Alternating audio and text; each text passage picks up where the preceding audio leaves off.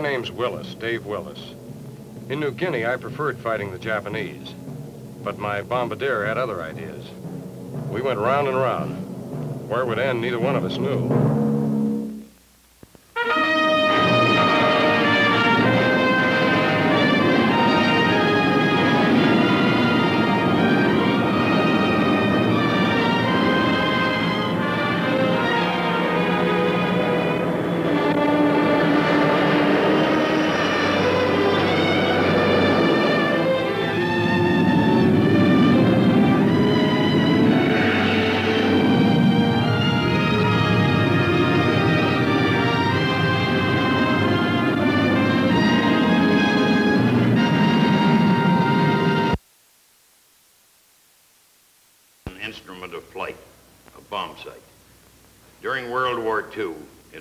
Bombardiers to put their bombs on target, despite enemy flight and fighters.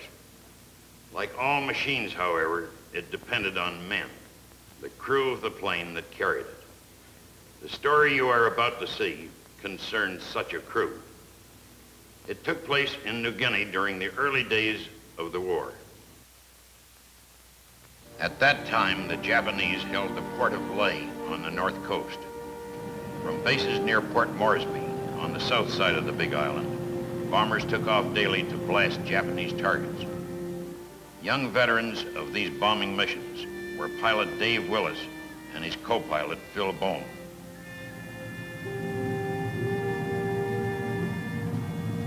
I'm looking for Lieutenant Willis. Well, you found him. I just reported in. Roe's the name, Jerry Roe. I'm your new bombardier. Well, how are you? Phil Jerry Roe, our replacement. Welcome to New Guinea. Peaceful native villages, excellent Japanese caretakers. Enjoy your stay. This our bird? Huh? Want to look her over? You bet.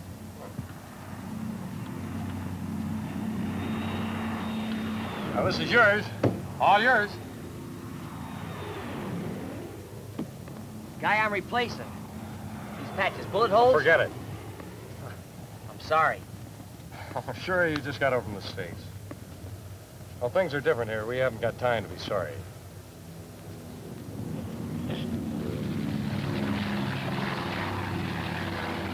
Today's mission begins a series of strikes against Japanese air bases. Our aim is to destroy enemy air power on the ground. The first base to be attacked is the fighter outpost east of Lady. You have the coordinates. Are there any questions? Well, what are the chances of actually finding enemy aircraft on the ground? Excellent. Our mission is coordinated with a fighter sweep. Enemy planes will have just landed when we fly over. All you've got to do is hit them. Got that, Jerry? All you got to do is hit them.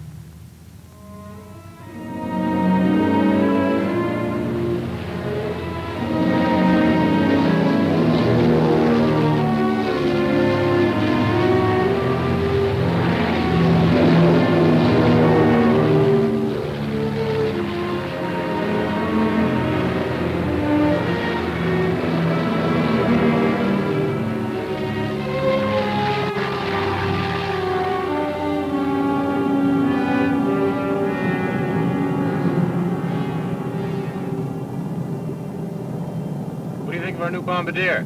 He's okay. Oh, he's too quiet for me. Seems like he's always thinking of something else. Just the fact that he thinks at all be enough to make you suspicious. Sure, sure. Wonder what kind of technicians they're turning out of bombardier school these days. We'll soon find out.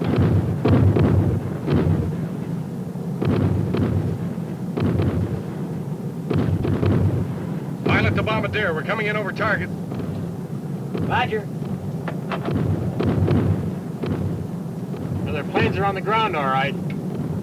Pilot the bombardier. She's all yours. Roger.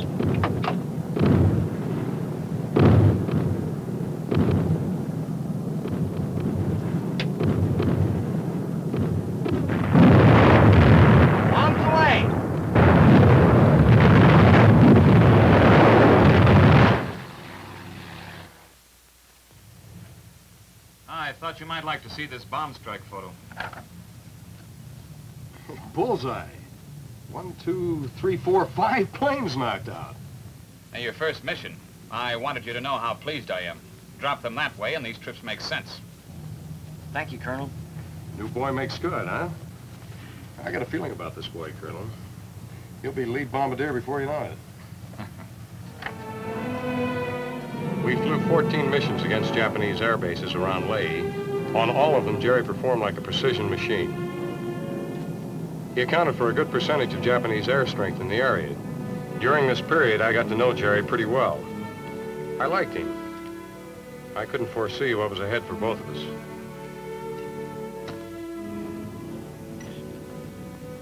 Smoke? Yeah, thanks.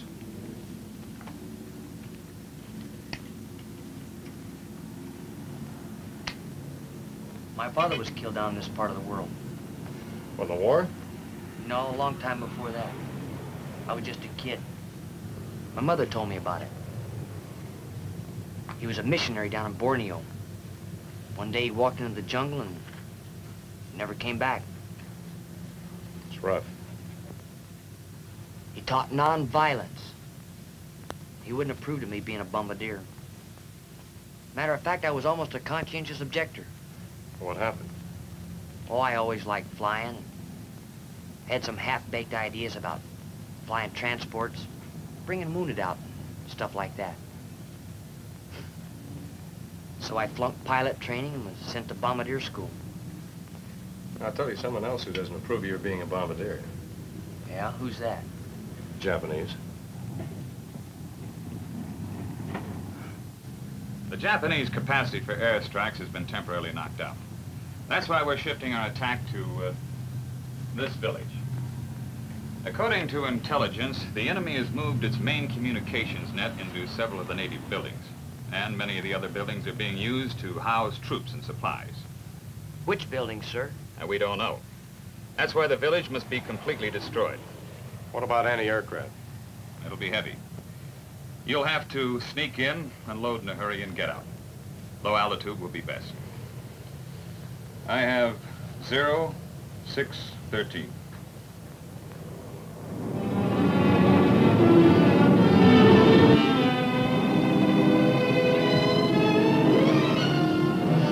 Pilot to bombardier. Get set. We're going in. Roger.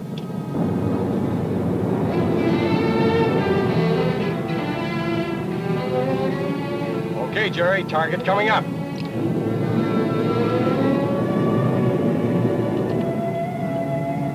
She's all yours, Jerry.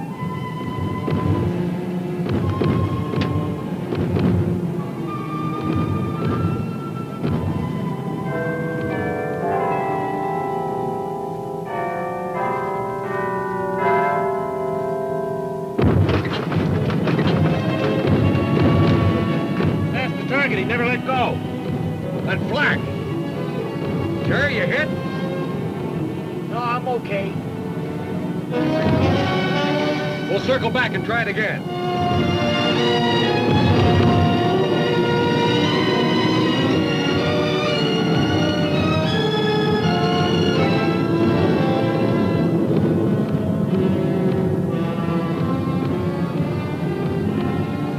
Get set, Jerry.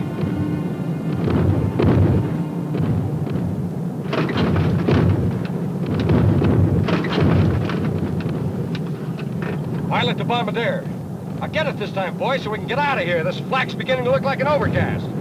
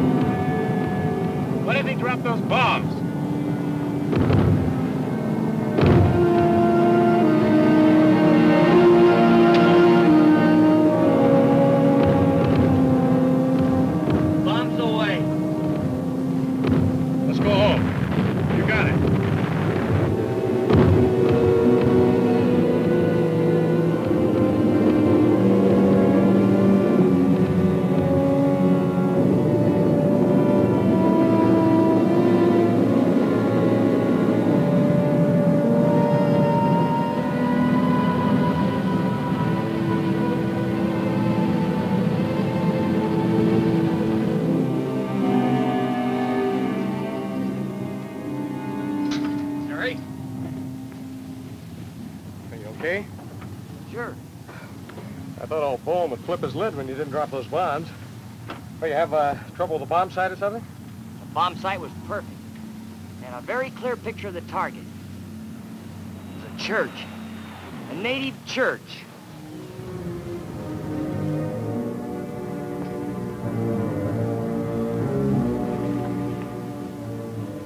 After that, Jerry spent a lot of time by himself. On the missions, he seemed to be brooding. He did his job all right, but uh, not as well as before. But this wasn't the same guy who'd become my friend. Hi, boys. What do you say, Tim? Sit down. Well, my boys got their fifth zero today. Well, what do you want? Your crew's been out here longer than anyone else. Went slam bang into one of the native villages. A plane falling among those buildings must have killed some natives. Don't worry about those natives. They know how to take care of themselves. How do you figure? They live all their lives with nothing but coconuts falling from the skies, and all of a sudden it's raining bombs and zeros. Well, this one didn't hurt anybody. How do you know? Oh, the church. They figured there's one place they'll always be safe, so if there's any air action nearby, they always head right for the church. You're lying. Wait a minute. You're lying! Jerry, take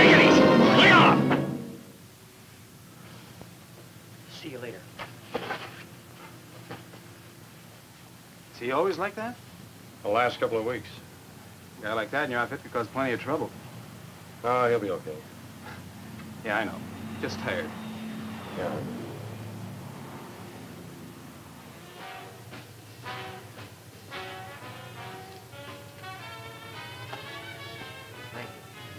Sam? Yes, sir? Samuel, what, what village are you from? It's the village of Manitou in the mountains. Were you ever bombed? Yes, sir. You ran into the jungle, didn't you? Oh, no, sir. No time. Everybody in the village, man, woman, child, all hide in the church. Why? Safe in church. No one hurt us there. The Japanese attacked Chongqing again today, concentrating on an area crowded with refugees. Several thousands were massacred with anti-personnel bombs. We're no better, are we, Sam? Pardon, sir? I said we're no better.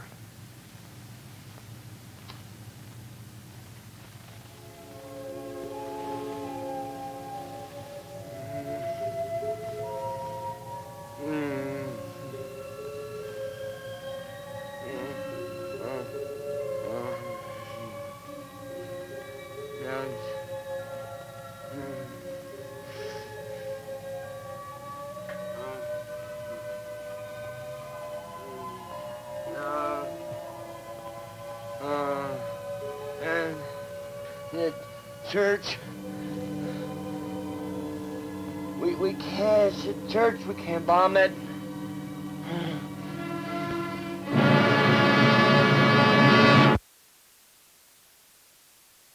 Pushed back around Lae, and once more the pattern of our attacks changed. We were after ammunition ships trying to sneak through with supplies.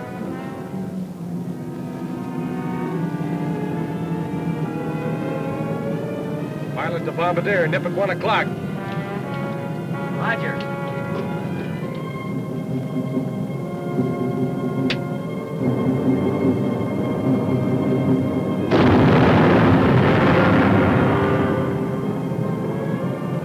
Oh, it was a short, sweet run. Take her home. Yeah, man.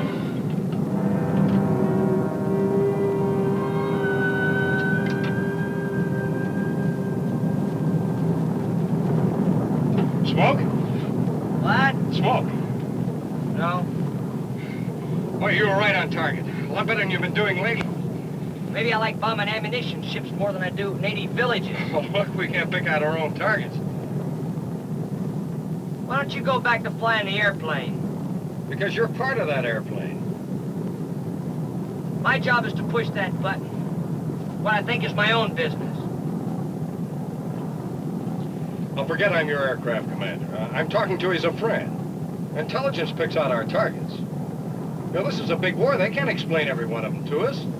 But you, you've got to have confidence in the guys upstairs or you, you'll crack wide open. I don't have any confidence, Dave.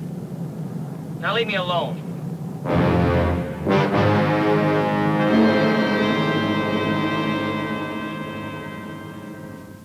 Our target target for today is the last Japanese airstrip in the Lae vicinity. Destruction of this strip will make the work of our ground forces infinitely easier. Now, each of your aircraft has its own target. Lieutenant Willis, Yes, sir. your ship will hit the warehouse on the north side of the runway. Yes, sir. Captain Weller, your aircraft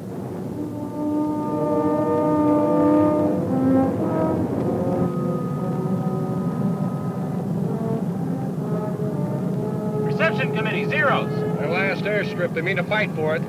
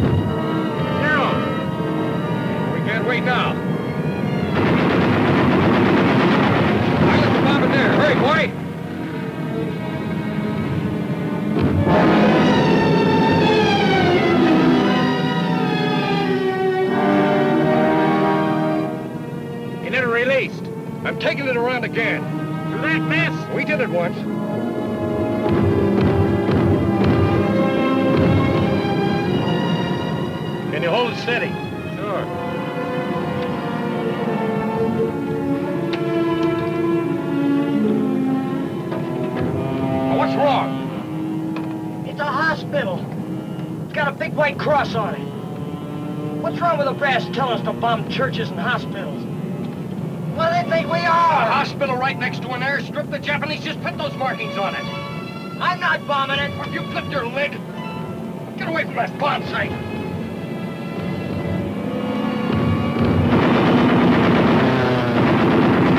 Get rid of those bombs. Zero's coming in again.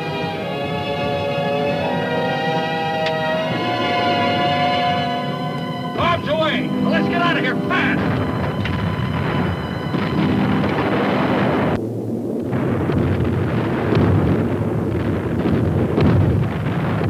Now we can go home.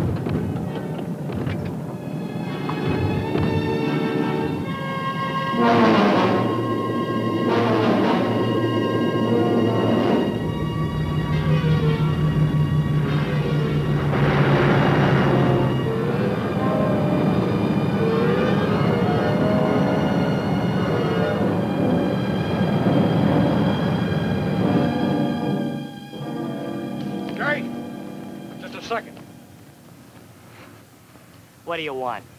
Now, you just walk away from the plane. You think that's all there is to it, huh? What do you want me to do? Pin a medal on you for blowing up a Now, hospital? you almost got us all killed. Why don't you court-martial me? Rather knock some sense into you. Well, now, why don't you just try? Now, look, Jerry, I... Oh, I'm tired of listening to you.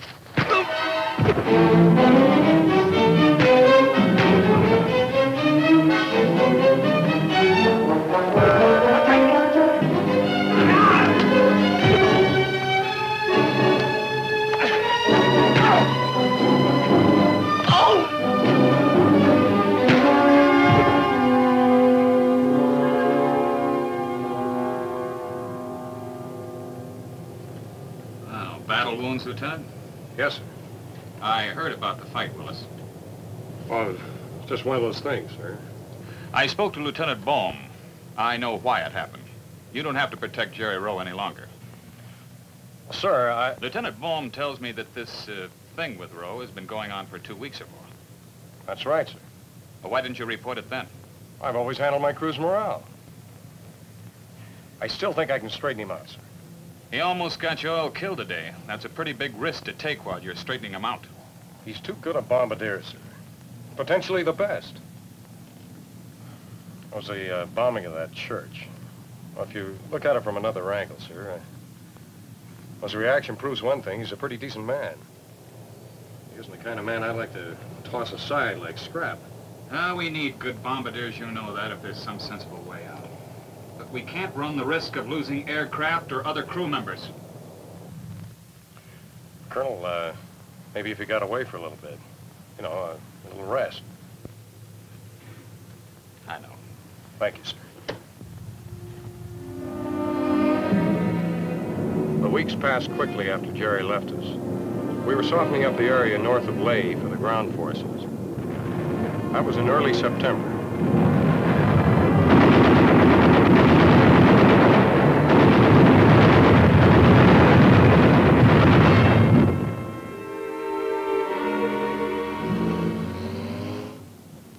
Can see, he's requested a transfer. Yes, sir. Under the circumstances, I don't see why I shouldn't approve it. Except for one thing, sir. Now, you wouldn't ask anybody else to fly in a plane that didn't check out. Nobody would, sir. No, of course not. Well, that's what giving Roe a transfer would amount to. Instead of curing the trouble, we'd just be passing it along to somebody else. But Hello, Colonel Alder. Right. And thanks. We've taken Lae. Great, sir. Now we're pushing him back, finally. Well, what'll we do with Roe? Can you stall that for a few days, sir? Yes, why? Well, with your permission, I'd like to get Roe and bring him back. Well, now that we've taken Lae, he can take a look at that little village, and the church. It might answer something for him one way or the other. I'm going there myself. All right, Lieutenant, I'll have your orders drawn up. Thank you, sir. By next morning, I was in Sydney. I knew where Jerry was, and in a couple of hours, I'd looked him up. I've had a lot of time down here to think things over. I want to start clean. Somewhere else. Well, the guys want you back, Jerry.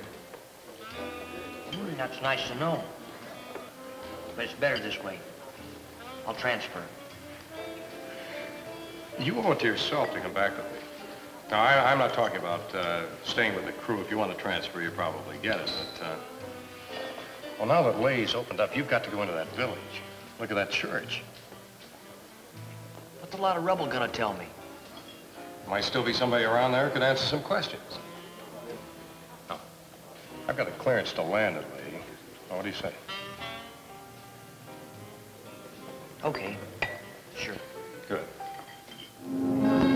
We flew up towards Lae, same route over which we'd done so much fighting. Now it was peaceful. I called ahead and got my landing instructions.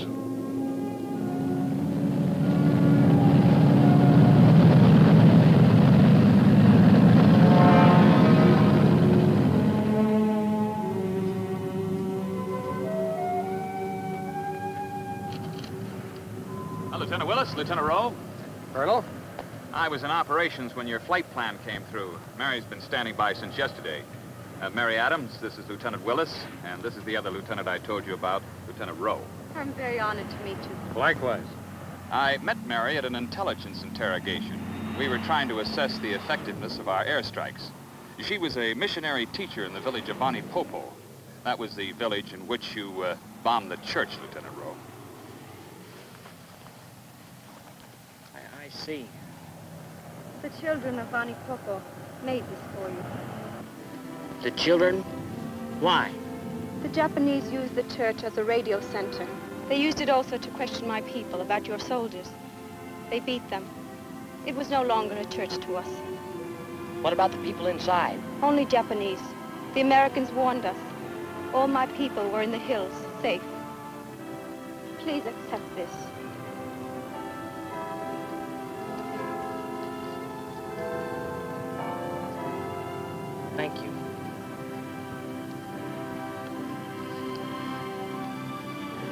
Thank you.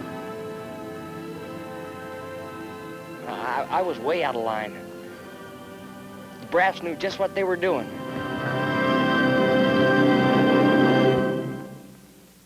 I'll be back in a moment to tell you more about Lieutenants Willis and Roe. And Lieutenant Roe finished the war together. They each earned many decorations, but they always considered the plated cross as the most valuable, a symbol of human drama in the story of flight.